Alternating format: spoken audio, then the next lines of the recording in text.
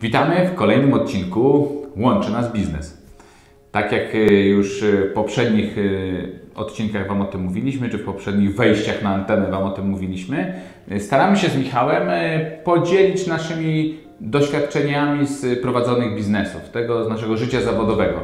Tym, co w naszej ocenie będzie wartościowe, czy może być dla Was wartościowe. Także taki jest cel tego naszego nagrywania. A o czym będziemy dzisiaj mówić? Dzisiaj będziemy mówili o e, leadershipie, o tym, jak ważna jest postawa lidera w momencie, kiedy w firmie pojawia się kryzys.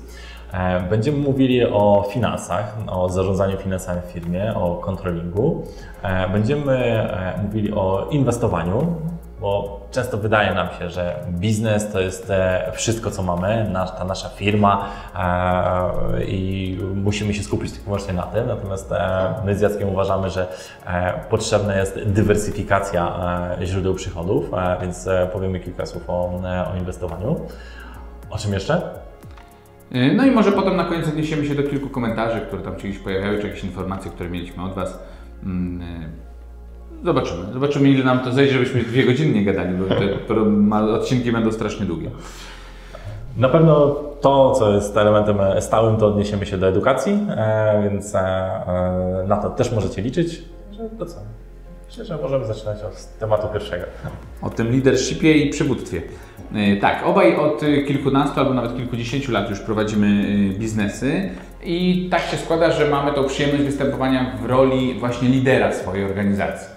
I dzisiaj pomyśleliśmy, że powiemy Wam o tym, jakie jest nasze podejście do tego, jaki powinien być lider. Znaczy, jakie jest jego, jakie jest jego zadanie w organizacji, w firmie, po co on tak naprawdę jest. Michał, czy Ty masz jakieś swoje przemyślenia w tym zakresie? Jak widzisz siebie w INB?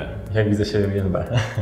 E, ja mam takie przemyślenia, że e, bardzo często jako e, właściciele firm e, mylimy pozycję lidera nadaną z tytułu, że jesteśmy właśnie właścicielem, e, z tym, że faktycznie tym liderem jesteśmy jako, jako osoby. To, co jest dla mnie najważniejsze w prowadzeniu biznesu, to to, żeby być tym liderem osobistym. Pozycja nie ma najmniejszego znaczenia, bo jeżeli występujesz z pozycji szefa i to jest tylko ten jedyny pryzmat liderstwa, jedyny argument, jedyny argument to jesteś na tym najniższym poziomie, na jakim możesz być. Ludzie wtedy pracują z Tobą tylko i wyłącznie, dlatego że mają pracę i interesuje ich tylko i wyłącznie pensja. Nic innego nie ma w tym momencie znaczenia. Natomiast e, kiedy e, wchodzisz w rolę e, lidera, partnera biznesowego z ludźmi, których zatrudniasz, tworzysz zespół, a nie tylko miejsce pracy, zaczynasz wchodzić na zupełnie inne poziomy i wtedy ludzie dużo chętniej wykonują swoją pracę, nie potrzebują aż tyle poświęcanego czasu przez, przez szefa na pilnowanie tego, co robią, bo oni po prostu wiedzą, co mają robić. Czyli stajesz się takim naturalnym liderem, nie liderem wynikającym z funkcji, z jakiegoś tam przy, po, uszeregowania w organizacji, tylko takim naturalnym liderem. No, tak bym chciał, mam nadzieję, że tak to wychodzi. to trzeba byłoby piszcie zapytać... lub nie piszcie komentarzy w tym zakresie. to trzeba byłoby zapytać e, cały nasz zespół. Natomiast no, e, fakt faktem e, cały czas się tego uczę e, i dążę do tego, żeby, e, żeby w taki sposób funkcjonować. No może jest jeszcze coś takiego w nas ludziach jak e, emocje. E, czasami wiemy, że czegoś nie powinniśmy robić, nie powinniśmy się w jakiś sposób zachowywać, czy to też e, relacji z zespołem, a mimo wszystko emocje biorą górę i no, nie zachowujemy się jak naturalni liderzy, tylko jednak czasem gdzieś tam sięgamy po ten atrybut władzy, władzy, władzy stanowiska. Tak?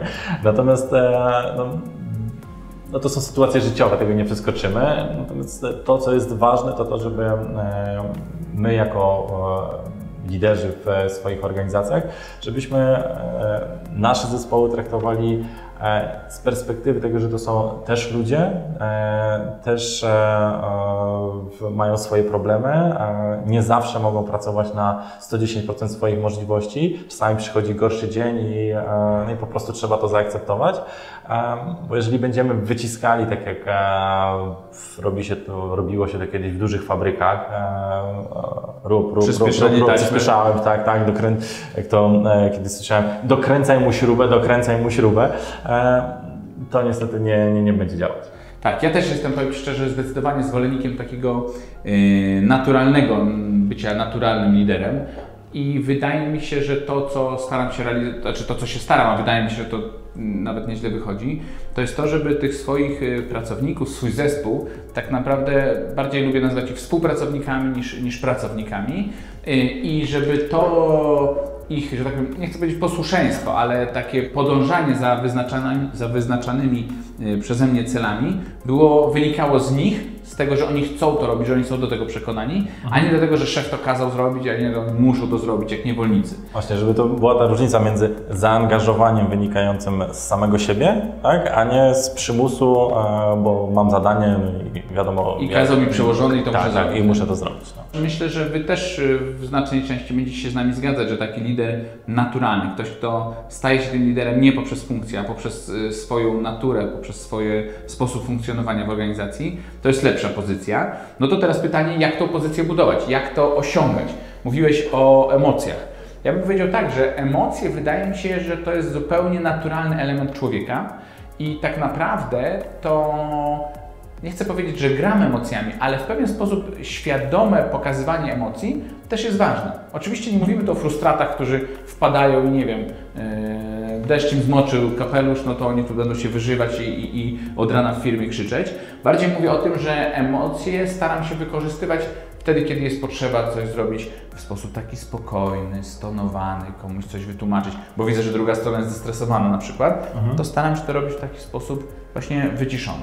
Natomiast z drugiej strony, kiedy widzę, że druga strona no, niezbyt przykłada się do swojej pracy, to wtedy ten odrobina tego, tych emocji i takie popruszenie tego odrobiną energii i powiedzenia do jasnej anielki, dlaczego tak jest, to, to też tak naprawdę kształtuje taką prawdziwą twarz e, lidera. On nie musi być cały czas opanowany. On może od czasu do czasu rąbnąć stół, bo to jest taki jego całościowy obraz. Nie? Zdecydowanie style przywództwa trzeba ze sobą łączyć. To nie jest tak, że e, jeden styl przywództwa można stosować cały czas, bo jeżeli, zresztą nawet czytałem kiedyś e, w Harvard Business Review e, na temat zarządzania zespołami, że jeżeli będziemy stosowali tylko i wyłącznie jeden styl przywództwa, tych stylów tam jest chyba pięć czy sześć, oni wymieniają, to jako liderzy będziemy nieefektywni. E, No bo jeżeli Tylko będziemy, jedno- jeżeli, będzie nim tak, tak, tak, nawet nie o to chodzi. E, chodzi o to, że jeżeli będziemy tylko i wyłącznie spolegliwi, mili i wyrozumiali, e, no to zespół nie będzie miał efektywności.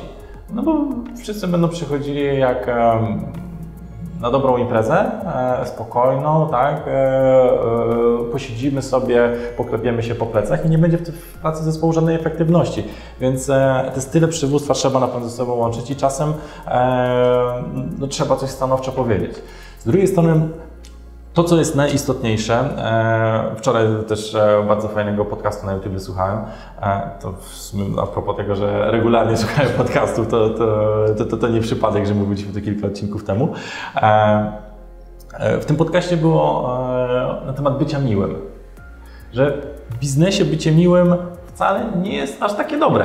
E, Słuchałem chyba tego podcastu, już nie pamiętam tego tłumaczenia e, z angielskiego. I jeżeli e, będziemy za wszelką cenę starali się być mili, e, no to ludzie będą e, nas e, regularnie wykorzystywali. Będą cały czas obniżali jakość e, tego, co robią i nie można do tego dopuścić. E, to, co jest ważne, e, to to, żeby biznes działał skutecznie. Więc jeżeli techniki związane z tym, że na przykład nie wiem, regularnie tylko i wyłącznie chwalisz, e, regularnie e, dajesz jakieś dodatkowe benefity i tak dalej, e, jeżeli to nie działa w sposób należyty, żeby była efektywność, no to musisz czasami tupnąć nogą i być stanowczym w tym, co robisz. Bo koniec końców w biznesie zawsze liczą się pieniądze. Tak? Jeżeli biznes nie będzie się spinał finansowo, no to co z tego, że będzie miła atmosfera w pracy? E, ona sobie będzie miła, tylko że za chwilę praca się dla wszystkich skończy. Więc czasami no, musi być niemiło, e, żeby wzrosły efekty. I tak jest moje zdanie. Odrobina zamordyzmu jeszcze nikomu nie, nie zaszkodziła. E, tak, tu masz rację, zgadzam się z Tobą w pełni. Przez kilka lat zarządzałem firmą produkcyjną i miałem do czynienia z jednej strony z kadrą, powiedzmy, zarządzającą, czy z pracownikami umysłowymi, którzy pracowali w tej firmie i miałem zespół kilkudziesięciu pracowników prze- takich fizycznych na produkcji. I to jest, będzie przykład mówiący o takim podejściu właśnie nie twardym, a, a miękkim w stosunku do tych, mhm. bo raczej podchodziliśmy do nich w sposób taki twardy i miałem dyrektora, który mm, nie wchodził z nimi w dyskusję, wydawał dyspozycje i to też było dobre. Znaczy był takim mhm. przykładem twardego zarządzania i, i, i to było fajne. Natomiast mieliśmy taką sytuację, dzwoni do mnie, to już było kilka e, miesięcy później, dzwoni do mnie e, kierownik produkcji, myślę, że to była gdzieś 22, że mamy coś w rodzaju strajku na produkcji. Znaczy trzecia mhm. zmiana powiedziała, że nie przyjdzie do pracy. To już nie, nie, nie, wchodząc w historię, dlaczego tak było, ja wściekły wsiadam w samochód, jadę te 40 km do tej fabryki. Yy, przez 3 czwarte tej drogi wymyślam sobie różne twarde słowa i jak tam z tymi mężczyznami będę rozmawiał. To stanę, powiem, że w Po prostu jak wejdę to razem drzwiami. Yy, I to była taka moja postawa, właśnie nakręcałem się tak przez te powiedzmy nie pół godziny jazdy. No a na koniec już tam niemalże dojeżdżałem i myślę sobie, kurczę, ale to jest chłopie zupełnie niezgodne z Twoją naturą. To znaczy, to będzie takie sztuczne, to, to nie, nie zagrasz tego dobrze. Co więcej, ci ludzie mają swoje racje. To znaczy, teraz próba takiego spacyfikowania ich, y, ich niezadowolenia nie będzie dobra, nie? I Skończy się to ruiną w biznesie. Yy, tak. I, yy, I po przemyśleniu stwierdziłem, nie, to ja w takim razie zmieniam koncepcję, staram się wejść w taki sposób z jednej strony twardy i zdecydowany, ale z drugiej strony słuchać tego, co oni mają do powiedzenia, nie? Yy, i znowu, nie wchodząc w szczegóły, nie opowiadając całej historii y, przez pół godziny, powiem tak, w momencie, kiedy ja zdecydowanie powiedziałem, że nie zgadzam się na takie postępowanie i to nie może mieć miejsca, natomiast jestem otwarty, żeby wysłuchać ich opinii i, i jakby zrozumieć ich argumentację, dlaczego oni się tak zachowują, co im tak bardzo nie odpowiada, jak oni zaczęli opowiadać o swoich żonach, że im to w sumie odpowiada, ale ta żona to tam mu narzeka i tak dalej, więc jakby potraktowałem ich, y, chciałem ich zrozumieć jako ludzi, po prostu co, co nimi kierowało, to to bardzo fajnie się zakończyło, bo po półgodzinnej dyskusji oni wrócili do, do pracy z przekonaniem, że, że wszystko jest ok do, i jakby rozwiązaliśmy problem. Nie? Także właśnie ta zmiana stylów najróżniejszych, że czasami trzeba być yy, twardym, zamordystycznym i bez dyskusji, yy, a czasami trzeba pokazać ludziom, tak, ja Ciebie rozumiem, chcę wejść w Twoje problemy, zastanowić się, co Tobą kieruje i postarać się znaleźć rozwiązanie, nie? bo to też nie chodzi o to, że ja przyjmuję wszystko, co mi ktoś powie, albo zgadzam się na wszystkie ich rozwiązania, czyli pracujmy po 6 godzin, najlepiej 4 dni w tygodniu i miejmy, nie wiem, 36 dni urlopu w roku, tak? No oczywiście nie, nie, nie w tą stronę, natomiast trzeba umieć, to, trzeba umieć to wypośrodkować i zmieniać właśnie te style, o których mówiłeś. Mhm. Ja przypomnę sobie taką historię e, w zeszłym roku prawie miesiąc czasu, nie no, z dwa tygodnie leżałem w szpitalu, ale e, w ogóle dwa miesiące to mnie w firmy nie było.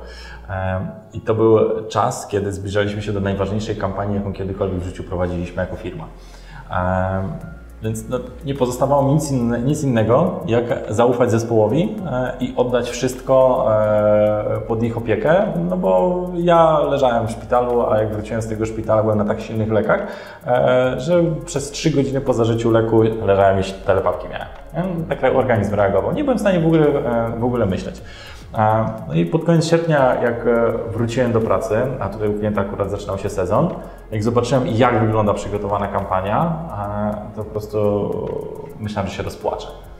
Rzeczy, które mówiłem, co mają być w czerwcu, co mówiłem w czerwcu, co miało być do, do wdrożenia, e, Słyszę od dziewczyny, która e, no, tam nigdy, nigdzie wcześniej u nikogo nie pracowała i no, u nas sprawia, e, sprawia wrażenie, że naprawdę jest e, mega ogarnięta i tak dalej.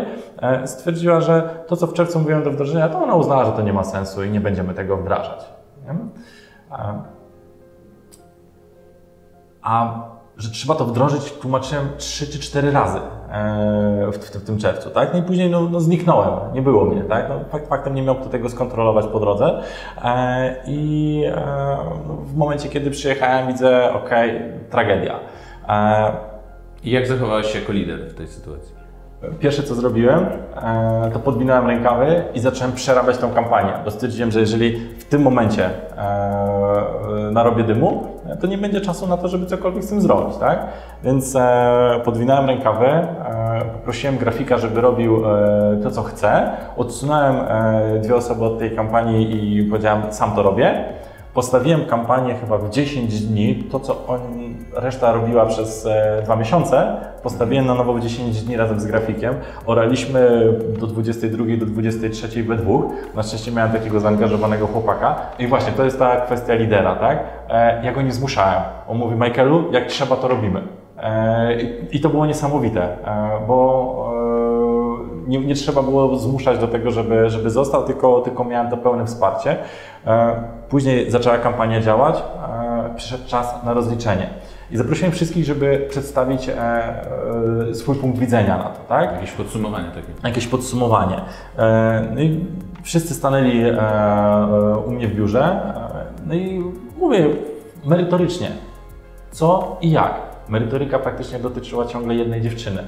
Bo jak się później okazywało, no to większość rzeczy to ja nawet nie miałem tego świadomości, tak? No bo przez dwa miesiące nie kontrolowałem. Okazało się, że e, dużo z tych rzeczy to spadało ciągle na tą samą e, jedną dziewczynę, e, ale tam ani przez chwilę nie pojawił się personalny wpierdziel. A, tak, tak. Tylko e, cały czas balansowałem w taki sposób, żeby jednak odnosić się do kwestii merytorycznych. Oczywiście wszyscy wiedzieli, o kogo chodzi. Ona poczuła się mega dotknięta. E, to była bardzo młoda dziewczyna. E, ona dobrze rokowała na przyszłość, e, ale nie, nie poradziła sobie z tym mentalnie i za 15 minut przyniosła mi wypowiedzenie. To był pierwszy raz, kiedy przez rok czasu dostała opierdziel. Nigdy wcześniej nie dostała za nic. I tak sobie nie potrafiła z tym poradzić, że przyszła za chwilę, rzuciła papierami. Wszyscy w biurze byli w szoku, że można w taki sposób się zachować. A później usłyszałem od innego członka zespołu, no wiesz, tak naprawdę myśleliśmy, że jak przyjdziesz, to będzie opierdol. E, a że to jeszcze dwa tygodnie trwało, e, że ty tak to odpuściłeś, to byliśmy w szoku. Ale no, jak zawołałeś, Wszyscy to się spodziewali. Jak ty zawołałeś, to wiedzieliśmy o co chodzi, tak? No po prostu e, wiadomo było, że, że, to, że to źle, źle zrobiliśmy, no i trzeba ponieść za to konsekwencje. No i to jest też kwestia dojrzałości zespołu. Jeżeli masz w zespole ludzi, którzy już dziś pracowali, mają jakieś doświadczenie e, też e, w, Myślę, w pracy. Myślę, że biorą odpowiedzialność za swój odcinek, nie? Tak, i, i to jest też kwestia ich mentalności. Tak, jeżeli biorą odpowiedzialność za siebie, za swoje decyzje, za swoje życie, to w pracy też biorą odpowiedzialność za swoje zadania. Ale jeżeli od, przez całe życie byli nauczeni, że mama brała odpowiedzialność, e, no to niestety później e, w pracy e, to też się e, odbija. I to było takie najbardziej hardkorowe doświadczenie dla mnie. E, dlatego, że tej presji e, w, najbliższych, e, w najbliższym miesiącu nie wytrzymały trzy osoby. Ale to oczyściło. Dużo oczyściło. To pokazało, że na, na kim można polegać. No dobrze, i to, i to był też taki sprawdzian dla Ciebie, jako dla lidera, tak. jak sobie w tej kryty, y, kryzysowej, nazwijmy to, sytuacji. Tak. Bo właśnie, może powiedzmy o tych kryzysowych sytuacjach też. Właśnie do tego dążę, tak? No bo generalnie kryzys już był, tak? Ja przyszedłem w kryzys. Tylko, że nie wszyscy mieli świadomość tego kryzysu. Dlatego, że e, gdybym ja wtedy nie podwinął rękawów, e, nie pojechał do klienta, bo to, co ja zrobiłem, e, ja wyznaję zasadę, że zawsze trzeba być prawdziwym. Szczerość ponad wszystko, nawet jeżeli będzie bolało. Bo w długiej perspektywie czasu kłamstwo i tak zawsze wyjdzie, a za kłamstwo pójdzie zawsze negatywna opinia. I ja pierwsze co zrobiłem, jak zobaczyłem, jak wygląda kampania, zadzwoniłem do klienta, mówię: Adam, chciałbym się jutro z Tobą spotkać. Pojechałem do niego mówię, słuchaj, kampania jest tak, tak, tak przygotowana, jest wszystko źle zrobione. E, mówię, ja wiem, że mi zaufałeś, wiem, że właśnie zaczyna Ci się sezon, e, dlatego odciąłem grafika od wszystkich innych rzeczy. Ja wywaliłem z kalendarza wszystko, co miałem robić po powrocie i siadam i robię tylko to. I on tak na mnie popatrzył, mówi, Michał, wiesz co w Tobie cenię najbardziej? To, że zawsze mówisz prawdę. Że jesteś ponad powiedział, ponad wszystko cholernie uczciwy. Ja, ja będę to pamiętał, e, tą minę, tą twarz, jak on to mówił, tak? E, I to też pokazuje Twój leadership, bo wiele osób e, na moim miejscu podwinęłoby ogon, udawałoby też przed klientem, że wszystko jest ok. Tak, ale na zespół też by to wpłynęło. Dlatego, że jeżeli ja pojechałem rozmawiać z klientem i powiedziałem mu, jak wygląda sytuacja, pokazałem, jak będzie to wyglądało, to też pokazałem swoje wartości zespołowi. To jest ważne, żeby będąc liderem, postępować według pewnych wartości, których dzisiaj w ogóle w świecie brakuje. Wolne spostrzeżenie dodatkowo. Tak, no to ja się odnosząc o dwóch przykładach chciałem powiedzieć, bo tak naprawdę nie wiem w jakich organizacjach pracujecie, jak dużymi organizacjami zarządzacie. Natomiast jeżeli miałbym powiedzieć o roli lidera w e, sytuacji kryzysowej, to mniej więcej 12 lat temu rozpoczynałem biznes polegający na tym, że zbieraliśmy zużyte opony, czyli gdzieś tam jechaliśmy do serwisów, ładowaliśmy te opony na ciężarówkę i wywoziliśmy do cementowni. I moje zadanie polegało na tym, żeby zarządzać tym procesem yy, i zarządzać w takim wydaniu mikro, czyli czasami zdarzało mi się, że ja brałem dwóch chłopaków i we trzech jechaliśmy yy, i te opony ładowaliśmy, a yy, innym razem znowu organizowałem gdzieś te załadunki w Polsce i, i te samochody potem dojeżdżały do cementowni z tymi oponami. I pamiętam takie zdarzenie, i to będzie, to będzie przykład na rolę lidera w, i kryzysową sytuację w takiej skali mikro, bym powiedział. To znaczy, zabrałem dwóch innych jeszcze panów, e, wsiedliśmy w busa, pojechaliśmy niemalże 200 km od Lublina i ładowaliśmy dwa samochody ciężarowe z użytymi oponami. E, mhm. Na jednym samochodzie jest mniej więcej 15, no 12 do 17 ton e, tych zużytych opon, więc powiedzmy, że to było 30 ton opon na tych dwóch samochodach. I we trzech ręcznie musieliśmy to załadować, najpierw wrzucić na tą naczepę, potem na tej naczepie ułożyć. To nam zajęło, myślę, że gdzieś 8, może 10 godzin. W każdym razie e, zaczęliśmy tą pracę powiedzmy o godzinie 9, skończyliśmy o godzinie 18. E, załadowaliśmy, zapięliśmy tą ostatnią naczepę, tacy zadowoleni, poszliśmy, zjedliśmy coś, siadamy do samochodu i jedziemy. Jedziemy, dzwoni nagle jeden kierowca, ten pierwszy kierowca, którego załadowaliśmy, że on przejechał 100 kilometrów i prawdopodobnie nie spiął pasami tego ładunku y, na początku, jak my to ładowaliśmy i te opony spowodowały, że niemalże naczepa mu się przewróciła. O. To znaczy on się zatrzymał gdzieś na parkingu, jest przechylona naczepa i on po prostu z tego miejsca nie może ruszyć i co on ma robić dalej i tak dalej. No i tak, my mamy zrealizowane na, na dzień jutrzejszy w cementowni, że dostarczymy dwa samochody zużytych opon. We trzech jesteśmy już padnięci, nie mamy siły, no już ileś tam ton przeładowaliśmy. Tak? Yy, w drodze powrotnej, no jedziemy przez tą miejscowość, gdzie on stoi na tym parkingu. Przyjechałem i nie wiem, czy mam płakać, czy co ja mam w ogóle zrobić, bo ta naczepa rzeczywiście taka przechylona. Yy, te opony, no po prostu niezabezpieczony ładunek, tak, tak to się stało. Yy, widzę, że ci moi dwaj partnerzy też już są zmęczeni i, i zjechani po tym całym dniu. No ale jakie mamy wyjście? No nie mamy wyjścia, no trzeba to rozładować, co najmniej 3 czwarte, no 2 trzecie tej ciężarówki trzeba rozładować, zdjąć z tego samochodu. Kierowca musi zabezpieczyć tę naczepę, pozwiązywać ją tam odpowiednio i na nowo to załadować.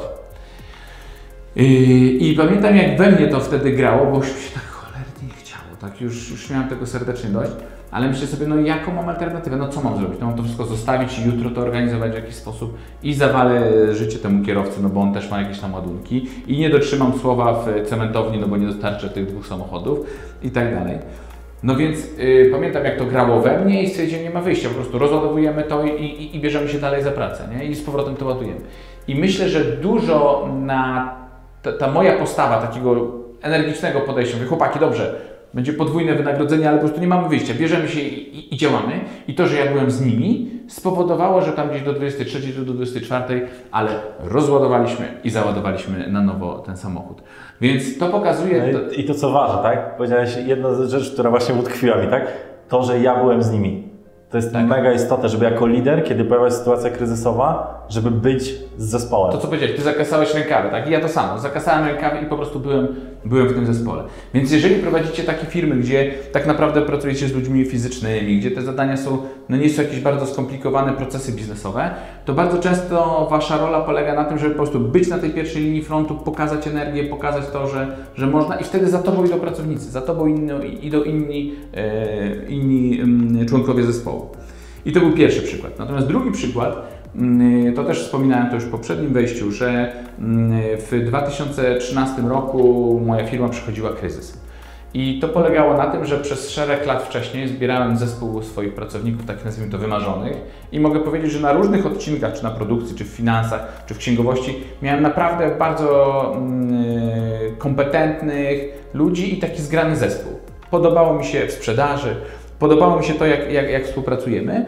Mm, I w momencie, kiedy mm, no właśnie przyszedł ten kryzys i już nie wchodząc w powody tego kryzysu, no to rolą lidera było co? No pokazanie temu zespołowi, że ta firma się nie zawala i że to się zaraz wszystko nie rozsypie, tylko że my sobie damy radę. I damy sobie radę nawet w takich sytuacjach, kiedy na przykład odchodzili mi ci kluczowi pracownicy. Czyli ja sam sobie myślałem, kurczę, no w tej przestrzeni tak byliśmy poukładani, a tu gość składa wypowiedzenie. I ja nie mam do niego pretensji, no bo on składa to wypowiedzenie dlaczego? No bo jeżeli firma ma kryzys, to on stwierdza sobie z jego osobistego punktu widzenia, po co mam się kopać tutaj w tej firmie, która ma kryzys, idę sobie do innej, gdzie, gdzie będę miał mniej, yy, mniej stresu. Jasne. Powiedzmy, tak? Więc jakby nie mam personalnie pretensji do niego.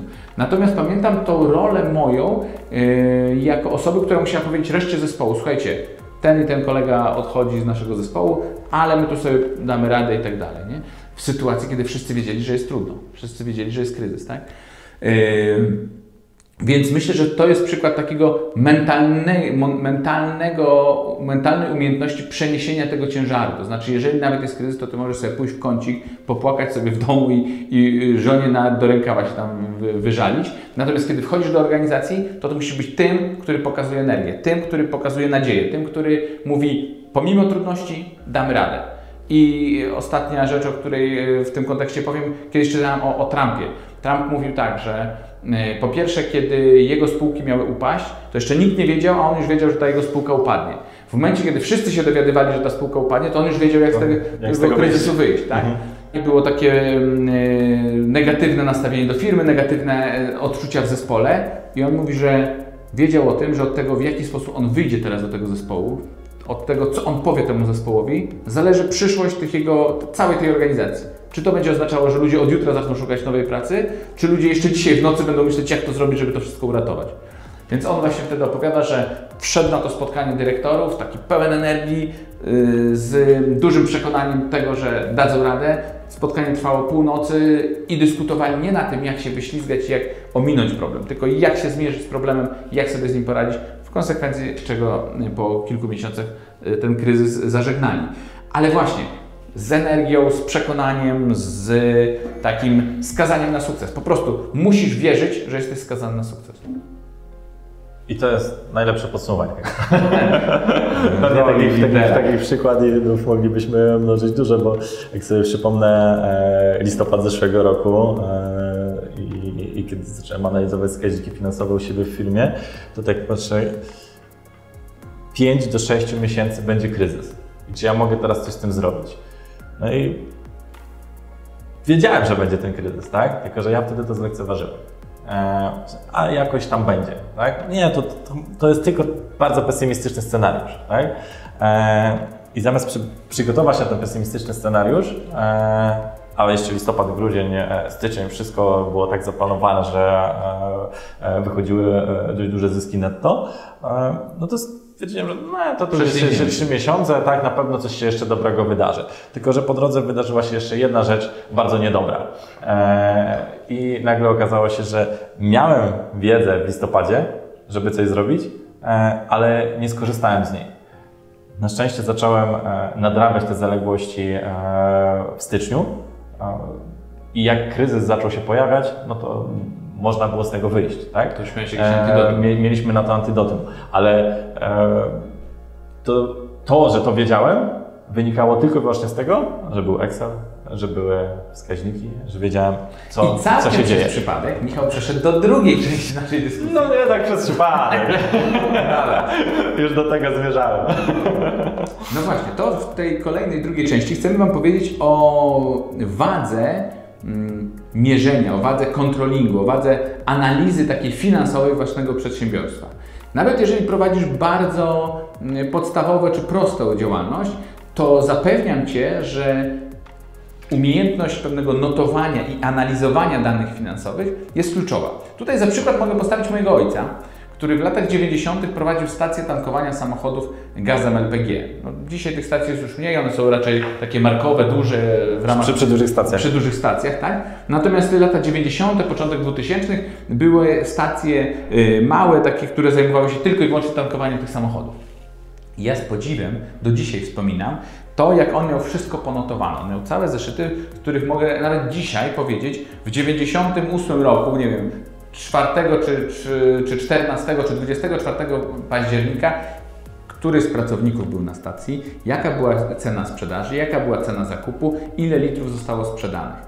Yy, I nie wiem, chyba jeszcze jakieś, jakieś rzeczy notował. No w każdym razie bardzo skrupulatnie prowadził te swoje notatki. I czym to owocowało? No mianowicie tym, że potem, nawet w takim prostym biznesie, no ktoś Ci przywozi ten gaz, Ty go rozlewasz do małych, do, do samochodów, no wydaje się, nie ma tu wielkiej polityki. A się okazuje, że posiadanie tych danych powodowało, że można było potem wyciągać pewne dane statystyczne, czy planować potem przepływy, yy, planować wynegocjowanie na przykład terminu płatności u dostawcy, ja, przekłada mi się na jaką zmianę prze, przepływów yy, w firmie. I to był prosty biznes. A jednak on to notował, zapisywał i potem umiał z tego wyciągać wnioski. Więc to, do czego chcemy Was zachęcić, to do tego, że bez względu na to, czy masz wielką organizację dyrektora finansowego z trzema asystentami, czy masz tak naprawdę mały sklep spożywczy, to tak naprawdę powinieneś zastanowić się, jakie są kluczowe elementy, tak jak tu Michał wspomniał. On też przeanalizował sobie, jakie są prawdopodobnie planowane przychody, jakie są planowane koszty, prosty podział na koszty stałe, koszty zmienne. Takie rzeczy powinieneś robić, nawet jeżeli nie jesteś ekonomistą. Dzisiaj na YouTubie znajdziesz mnóstwo informacji na ten temat. Tu nie chodzi o bardzo wyrafinowane liczenie jakichś stóp zwrotu, czy break-even point, czy jakichś innych y, takich, y, no już be, bez nas, ale trudnych wskaźników do wyliczenia nawet dla ekonomisty. Tu chodzi o bardzo skrupulatne podejście nawet do prostej analizy własnego biznesu. Czy może jakieś przykłady mamy z naszych biznesów? w tym zakresie. Co, ja jeszcze tylko e, wrócę do, do, do poprzedniego wątku, co mówiłem. E, w momencie, kiedy e, przeanalizowałem tą, tą, tą sytuację po tych wskaźnikach, ja później to zarzuciłem bo popadłem w rytm pracy taki, żeby dobra, to tutaj robimy, to robimy, to robimy i zacząłem działać mocno chaotycznie. Przestałem w ogóle kontrolować przez 5 czy 6 miesięcy w ogóle do niczego nie zagrożone. No nie no, za 4-5 miesięcy nie analizowałem tych wskaźników. I słuchajcie, nie miałem zielonego pojęcia, gdzie mi pieniądze uciekają. E, nagle patrzę na konto oszczędnościowe, a tam kolejne dziesiątki tysięcy złotych po prostu się zerują. Wysysają, Wysysają się I, i gdzie to idzie. Dopiero później e, zrozumiałem, że te narzędzia, które miałem stworzone, nie były zbyt dobre do, do, do bardziej zaawansowanych analiz i dopóki to był biznes taki tam sobie na 400-500 e, tysięcy rocznego obrotu, to tamte narzędzia wystarczały. Ale jeżeli jesteś na przykład dopiero teraz zaczynasz e, prowadzić swój biznes, e, no to wiadomo, że od razu nie wejdziesz na, e, na, na, na większe obroty. Zacznij od podstawowych wskaźników. Co jak powiedział, przychody, koszty, e, co kiedy ma spłynąć, w zupełności Ci wystarczy. Później będziesz wchodził w bardziej zaawansowane narzędzia. Wiesz, że pracowałem z doradcą biznesowym, który pokazał mi swoje narzędzie do zarządzania przepływem pieniężnym. I ja wiedziałem z ekonomii, co to są przepływy pieniężne, tak? Wiedziałem, że trzeba zarządzać tym i tak dalej, tylko że większość rzeczy robiłem w głowie. Patrzyłem sobie na przychody, koszty, tak? Pisałem to sobie w miesiącach, ale nie zaznaczałem tego dzień po dniu. W momencie, kiedy teraz analizuję sobie dzień po dniu, mam tabelę prognoz, mam tabelę realizacji, piszę sobie dzień po dniu, ok, dobra, realizacja jest taka, stan konta wygląda tyle, faktury są powystawiane, w tym dniu wpłyną mi takie pieniądze, w tym takie, w tym takie. Ten, wiem, że mam wystawioną taką fakturę, ale ten klient zawsze płaci dwa dni po terminie, e, to wiem, że tutaj mi nie spłynie, analizuję i robię to codziennie. Zawdzięczam to Robertowi. Dzięki Robert. E, to jeśli oglądasz ten materiał, to jest tylko i wyłącznie Twoja zasługa, e, bo ja nie miałem pojęcia, jak taki arkusz sobie stworzyć. E, natomiast to, co Jacek powiedział, poszukajcie na YouTubie różnego rodzaju szablonów, różnego rodzaju koncepcji, jak takie rzeczy sobie stworzyć, bo naprawdę w Excelu możecie zrobić niezwykłe rzeczy w bardzo prosty sposób, nie znając zaawansowanych formuł chyba ten arkusz, na którym pracują, zawiera tylko podstawowe e, dodawanie, e, odejmowanie, mnożenie, dzielenie. I, I, tyle. E, I naprawdę nie trzeba wielkich, skomplikowanych rzeczy, tylko, tylko sobie sumować rubrykami co i jak i zaznaczać, gdzie, kiedy, jakie pieniądze mają się pojawić. Dopiero wtedy można, uważam, zarządzać finansami w sposób skuteczny. I tak naprawdę wtedy wejdziecie na pewien taki wyższy poziom zarządzania swoim biznesem. Bo jeżeli masz kiosk z gazetami, i sprzedajesz te gazety. I tak naprawdę nie analizujesz, ile sprzedałeś y, w zeszłym miesiącu, a ile pół roku temu. Y, nie, tylko po prostu, no ktoś Ci te gazety przywozi, Ty tam klientom te gazety pojedyncze wydajesz, to pracujesz na takim bardzo podstawowym poziomie, czyli wiesz, że kupiłeś za 3 zł, sprzedajesz za 3,50, masz 50 groszy marży. Natomiast w momencie, kiedy zaczniesz to analizować, mnożyć, ile w miesiącu tych gazet sprzedajesz, a może jedne tytuły zjadają drugie tytuły, a na tych zarabiasz więcej, a na tych mniej, to nagle się okazuje, że zaczynasz wchodzić w wyższy poziom i w analizowanie swojego biznesu, które produkty warto sprzedawać, a których nie warto sprzedawać. Bo czasami jest tak, że mamy jakiś marżowy produkt. Zaczynamy trochę jako ciekawostkę wprowadzać produkt numer dwa. Tylko na tym produkcie numer dwa no mamy mało marży, ale akceptujemy to, no bo mówimy to i tak go tylko dosprzedajemy do produktu A. Natomiast po czasie, jeżeli tego nie analizujesz, to się okazuje na przykład, że sprzedaż jednego produktu A i produktu B się wyrównała. Sprzedaż tych produktów się wyrównała. Tylko ty nie pamiętasz, że na tym masz nisko, niską marżę, a na tym generowałeś marżę. To to było twoim yy, jakąś tam dźwignią rozwoju, tak? I nagle skanibalizował ci produkt B, skanibalizował ci sprzedaż produktu A. I wiele, wiele rzeczy, które wychodzi dopiero na etapie, kiedy będziesz umiał przeanalizować swój biznes pod kątem właśnie wskaźników. Cała kwestia mm, ustawiania ceny. Nie zawsze cenę musisz ustawiać pod rynek. Czasami nasze usługi czy nasze produkty są zupełnie niestandardowe i sprawdzanie, jaka jest cena w innym mieście na przykład, nie ma sensu. Ty musisz policzyć swoje podejście, mieć swoje podejście do ceny, analizować swoje koszty, analizować swoją oczekiwaną marżę i wchodzić lub nie wchodzić i podejmować te decyzje biznesowe właśnie w oparciu nie o to, co mi się wydaje, ale w oparciu o Excela, o to, co masz rzeczywiście, rzeczywiście policzone. E, to, co ważne, to to, żeby się nauczył się wyceniać e, swoje produkty i usługi, tak, żeby biznes się mógł spinać. I do tego powinieneś nauczyć się także liczyć całkowite koszty związane, na przykład jeżeli świadczysz usługi, e, z czasem, jaki poświęcasz na realizację danej usługi i ile ten czas Cię kosztuje. Bo widzisz, większość osób Myślę, że ty też e, się ze mną zgodzisz. E, większość osób, jak liczy e, koszt godziny, to liczy, ile kosztuje jego pracownik. Jego pensja, do tego ZUS, PIT i tam jeszcze te pozapłacowe obciążenia na pracodawcę. Więc jeżeli tam ktoś ma tam 3000 zł na rękę, to koszt dużego brutto dla pracodawcy to jest tam 5150, coś takiego, czy 100 jakoś tak. No większość osób liczy w ten sposób, że to jest te 500, trzeba podzielić sobie na 160 godzin w miesiącu i wychodzi stawka godzinowa, ile ten pracownik kosztuje. A ja liczę koszty zupełnie inaczej. Ja, owszem, liczę koszty, tak jak tego, te, te, te, ten fragment, natomiast jeszcze coś takiego przecież w biznesie, co się nazywa koszty stałe i koszty zmienne. I ja sobie obliczam koszty stałe, w zasadzie koszty rzeczywiste, tak? Czyli koszty rzeczywiste to z ekonomii, żeby, żeby e, wyjaśnić, koszty stałe plus koszty zmienne. E, średnie z ostatnich trzech miesięcy liczę na e, e, sumę tych kosztów, dzielę na ilość pracowników, którą mamy w zespole na robot, obciążasz, obciążam e, roboczą, godzinę. Ro, roboczą godzinę każdego z pracowników. I nagle okazuje się, że w tym momencie, e, za 3 tygodnie temu to liczyłem, w tym momencie mamy 26 zł kosztu na roboczą godzinę każdego z nas. No i nagle okazuje się, że wyceniasz roboczą godzinę pracownik, e, klientowi, no i klient mówi, no ale jak to 100 zł czy 150 zł za roboczą godzinę? No tak, no bo jakby... Do, do, no, ale jeszcze jedną rzecz, że tak naprawdę pracownik nie pracuje efektywnie przez te 160, no 160 kilka godzin. Poza tym jeszcze weź pod uwagę, że jest 168 e, godzin w miesiącu, no to jest w miesiącu, ale w skali roku jest jeszcze miesiąc urlopu. No bo Chociaż 26 dni, e, ponad miesiąc jest urlop, no jest, e, są jeszcze e, L4, które czasem występują w sezonach grypowo-przeziębieniowych. Tak? I to wszystko trzeba uwzględnić przy wycenianiu tej, tego kosztu roboczo godziny. Więc jeżeli masz koszt roboczo godziny w sumie na poziomie tam 60 zł na osobę, no to nie możesz sprzedawać swojej usługi poniżej 120 zł. No bo jeżeli pracownik ci zachoruje, E, to nie, no, to, to, to, nie masz nic, tak? E, a koszty, e, a koszty i tak musisz czegoś pokryć. Więc musisz zwrócić uwagę na to, żeby na starcie swojego biznesu nauczyć się odpowiednio wyceniać swoje usługi. I nie przejmuj się, że jesteś nowy na rynku i no, często jako nowi na rynku zaniżamy ceny, żeby tylko się wbić. Ta strategia prowadzi do tego, że uczysz się pracować za niskie stawki, a później okazuje się, że e, Twój biznes się przestaje spinać, jak pojawiają się jakiekolwiek większe koszty.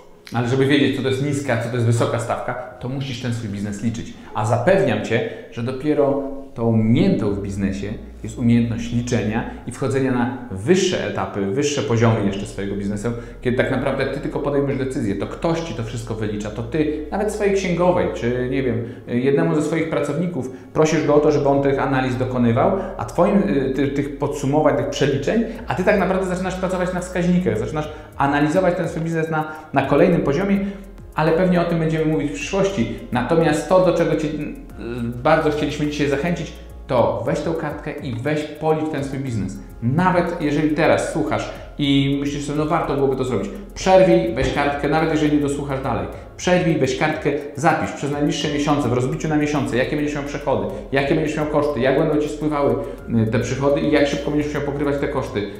To jest dopiero mięta w biznesie. E, ale zanim weźmiesz tę kartkę i zaczniesz pisać, e, to kliknij subskrybuj na kanale moim i na kanale Jacka i dopiero wtedy, dobra? E, żebyś miał dostęp na bieżąco do naszych kolejnych materiałów. Wtedy zapłacisz nam tą walutą, którą tak, mówiłeś tak, tak, ostatnio. Walutą, tak, walutą dzisiaj jest kliknięcie lajka lub subskrypcji, yy, udostępnienia, czy, czy właśnie pomoc nam w tym, żeby ten materiał docierał do większej ilości osób. No dobrze, Przechodzimy dalej. Yy, kolejną rzecz, może inwestowanie sobie zostawmy na kolejny odcinek. Tak, bo rozgadaliśmy się trochę przy tym leadershipie, przy, e, przy kosztach, ale no, no, no, to są ważne rzeczy, tak? No bo jeżeli budujesz zespoły, e, zaczynasz stawiać tym pierwsze kroki, no to musisz wiedzieć, e, w jaki sposób e, postępować, e, aby Twoja firma rozwijała się efektywniej. No i w kontekście efektywności mierzenie kosztów, liczenie swojego biznesu, no nie wyobrażam sobie dzisiaj funkcjonowania bez tego. Twoja firma lub Twój dział lub Twoje w ogóle stanowisko pracy, ponieważ nie zamykamy się tylko do właścicieli, do zarządzających firmami. Tak naprawdę, jeżeli Ty jako pracownik przyjdziesz i pokażesz swojemu przełożonemu, że Ty swój ten zakres, za który odpowiadasz w firmie, przeanalizowałeś i zrobiłeś taki mini controlling dla swojego, nie wiem, działu, dla swojego stanowiska pracy, to bardzo mocno tym zapunktujesz i zwiększysz efektywność swojej pracy. Jeżeli nie w całej firmie, to właśnie na swoim odcinku. Ale ostatnim elementem, trzecim, tak jak mówiliśmy, będziemy się dzielić jakimiś naszymi e, narzędziami czy naszymi doświadczeniami e, z tego, jak my prowadzimy swoje biznesy. I dzisiaj chcieliśmy powiedzieć o szkoleniu, edukacji, o tym, że y, tak naprawdę nie kończymy, albo wręcz nawet zaryzykowałbym, że po studiach zaczynamy edukację biznesową, czy zaczynamy edukację zawodową y, i dla nas obu to jest ważny element. My nie poprzestaliśmy na y, studiach i na tym, że ok, więcej się już na uczelni nie pokazuje, albo więcej nie chcę czytać jakichś książek, z których się będę czegoś uczył. Tak naprawdę proces uczenia się jest czymś stałym. I Michał, uczymy się, czy się niekoniecznie uczymy? Cały czas się uczymy. Cały, Cały czas. Ja, ja słucham Michała, Michał słucha mnie, chociażby I, Tak, i się nawzajem od siebie uczymy. E, ale fakt faktem trzeba zwrócić na to uwagę, że e, kiedy chcesz rozwijać swój biznes i założysz, że ty już wiesz, e, to gwarantuję Ci, że ten biznes szybko się rozleci. Ja regularnie staram się uczestniczyć w różnego rodzaju szkoleniach, konferencjach ciekawe, różne ciekawe rzeczy po tych konferencjach potrafią się wydarzyć. Na przykład w czerwcu występowałem, e, występowałem e, uczestniczyłem w konferencji Mistrzostwo Sprzedaży. A tutaj, występowałem też troszkę słyszałem. Tutaj w Lublinie i e, na przerwie kawowej rozmawialiśmy sobie z panelistami i w pewnym momencie w trakcie tej konferencji jeden z panelistów Ty, tam, gościu. stał i, i mówi, wiesz co, to może byś opowiedział o tym, co mówiłeś przy kawie, bo to będzie najle, najlepsza odpowiedź na pytanie konferencjerki, tak? No i wstałem i zacząłem mówić przed publicznością co mnie natchnęło do tego, żeby postarać się e, występować e, dalej na scenie. E, dzisiaj, kiedy nagrywam ten materiał wideo, jestem w przeddzień wystąpienia w Katowicach. Za chwilę kolejnego dnia będę występował na Mistrzostwie Sprzedaży w Krakowie. I to są takie rzeczy, które no, w momencie, kiedy się edukujesz, pojawiają się przypadkiem nie wiem, czy przypadkiem. Nie, nie, przy okazji. Przy tak okazji, tak, tak to, to, to jest na pewno lepsze, e, lepsze stwierdzenie. Natomiast wracając do, do samej edukacji, e, jak książki zacząłem czytać, jak zacząłem kończyć studia. E, I nie dlatego, że chciałem przeczytać jakąś nową wiedzę związaną z programem nauczania, tylko zacząłem czytać już książki typowo o tym, jak, jak prowadzić biznes, jak prowadzić marketing. Jak w 2007 roku zaczynałem studia, to już od drugiego semestru zacząłem regularnie chodzić na szkolenia, które organizowały organizacje studenckie. Ja się cieszyłem, że te wszystkie szkolenia są organizowane za darmo, bo nie stać mi było na to, żeby kupić sobie bilet na cokolwiek. Wiedza na tych szkoleniach może nie była porywająca, patrząc z perspektywy dzisiejszego pryzmatu moich doświadczeń, ale kiedy byłem na początku drogi, to było niesamowite, bo ja nigdy o czymś, takim, o czymś takim nie słyszałem. E, I to doprowadziło mnie do tego, gdzie jestem dzisiaj. E, gdybym nie zdobywał tej wiedzy 10, 11, 12 lat temu, e, dzisiaj prawdopodobnie robiłbym zupełnie inne rzeczy. Tak, powiedziałeś o konferencjach, szkoleniach. Ja powiem Wam y, o studiach podyplomowych. Znaczy coś, co wydaje mi się jest ciekawym rozwiązaniem, to dobieranie sobie studiów podyplomowych, które są związane bezpośrednio z Twoim biznesem. Y, na SGH, nie wiem czy nadal są organizowane, ale kiedyś były organizowane takie studia z komunikacji finansowej dla spółek publicznych. Y, poszedłem na to, bo wiedziałem, ok, no zarządzam spółką publiczną, warto byłoby się tym zainteresować, zresztą to jakoś tam wynika też z moich zainteresowań takich poza pracą. I co z tych studiów wyniosłem? Po pierwsze, był jakiś program realizowany i on był rzeczywiście ciekawy. On był nawet ciekawszy niż moje studia ekonomiczne, które robiłem wcześniej. Ale to tylko jedna płaszczyzna. Kolejna płaszczyzna to w momencie, kiedy wykładowca mówił o jakiejś teorii i wykładał coś na temat, nie wiem, właśnie komunikacji czy e, przygotowywania sprawozdań finansowych, ja to odnosiłem od razu w trakcie wykładu do mojego biznesu. Czyli robiłem sobie notatki mówiące sprawdź to, jak to wygląda u Ciebie, albo zrezygnuj z tego, albo zapisz się gdzieś tam, albo czyli już zadania, które były bezpośrednio związane z moim biznesem. I trzecia płaszczyzna, czy trzecia korzyść, którą wyniosłem z takich studiów, to były relacje. Na studia podyplomowe idą ci, którzy interesują się tym y, konkretnym zagadnieniem merytorycznie i chcą go zgłębiać. I teraz samo fakt poznania tego typu ludzi z innych firm, z innych miast daje, daje wartość. Z jednym z takich y, poznanych tam kolegów robiłem potem biznesy przez, y, przez kilka lat. Teraz byłem na studiach podyplomowych z mm, zarządzania dla kadry menedżerskiej w firmach deweloperskich. I znowu, z jednej strony bardzo konkretna wiedza. Na moim kanale na przykład możecie znaleźć odcinek dotyczący przekształcenia prawa wieczystego użytkowania we własność i tam się mądrze w tym, w tym, w tym filmie właśnie wiedzą, na bazie którą poznałem na tych studiach. Druga przestrzeń to jak tylko słuchałem tego wszystkiego, to wypisywałem sobie, co to znaczy dla mojego biznesu, jak powinienem to zastosować w moim biznesie. Był przykład, jak, jak duże firmy deweloperskie negocjują z wykonawcami usług budowlanych. Bardzo mi się ta wiedza przydała. I trzecia przestrzeń to było budowanie pewnej swojej pozycji w środowisku osób będących w tej deweloperce. Nawet wczoraj rozmawiałem z jedną z poznanych tam osób i wydaje mi się, że budowanie właśnie swojej pozycji w tym środowisku też w dłuższej perspektywie jest rzeczą bardzo ważną. Także nie poprzestajemy na tym, że skończyliśmy studia, mamy dyplom, dobra, zamykamy się w swoim biurze, tylko konferencje, konferencje, szkolenia, szkolenia online, to o tym Michał mówił chyba w pierwszym odcinku, że, że z tego korzysta, tak? tak? Yy, czyli to, co możesz rzeczywiście przy tym swoim biurku, czy w domu, czy w, czy w mhm. pracy, ale odsłuchać. Być może studia podyplomowe, to też jest, wydaje mi się, bardzo ciekawy kierunek. E, jest zasadnicza różnica między e, studiami, konferencjami, szkoleniami, a tymi szkoleniami online, tak? Przy szkoleniach online, owszem, fajnie zdobywa się wiedzę. One są dużo tańsze, więc są bardzo łatwo dostępne i e, jeżeli jesteś na początku swojej drogi biznesowej, nie, nie masz jakiegoś wielkiego kapitału, to pewnie pójdziesz w tym kierunku. Natomiast e, e, wszystko to, o czym mówił Jacek, e, e co wymaga wyjścia z domu, tak? E, pozwala na poznanie nowych ludzi. Czy to będą studia podyplomowe, czy konferencje, czy, czy, czy, czy, szkolenia. Na konferencjach wiadomo, że będzie więcej osób, na szkoleniu tematycznym e, będzie to pewnie 10, 15, 20 osób, e, ale to wszystko pozwala Ci na poznawanie ludzi, pozwala Ci na wymianę wizytówek. Nigdy nie wiesz, kiedy spotkasz kogoś, z kim zaczniesz robić biznes. Zwróć uwagę na to, że na konferencjach zazwyczaj jest przerwa networkingowa. Masz szansę porozmawiać z różnymi osobami, zaprezentować to, czym się zajmujesz, e, posłuchać potrzeb innych ludzi i spróbować im pomóc. To jest jeden z prostszych sposobów na to, żeby tanim kosztem robić też sobie marketing. E, ja pamiętam, że jak nie miałem pieniędzy na marketing, e, Facebook zaczął drożeć, e, nie miałem pieniędzy na Google, trzeba było płacić za coraz większą ilość rzeczy, zacząłem chodzić na różnego rodzaju konferencje. Spotkałem kogoś, z kimś porozmawiałem, zapytałem, jak mogę pomóc. No i gdzieś tam wszystko już dogadywałem. To jest naprawdę mega, mega dodatkowa wartość, oprócz tej wartości edukacyjnej, którą możesz zyskać, czy to na studiach, czy, czy, czy na szkoleniach i, i konferencjach. I to trochę zakrawa też o to, o to, o czym nie wspomnieliśmy, czyli pewne takie mentalne podejście. To znaczy po prostu rozmowa z innymi ludźmi, wychodzenie poza swoją firmę, patrzenie jak wyglądają inne firmy, jak inni ludzie mówią o swoich firmach, o Twojej firmie, to zmienia Cię mentalnie.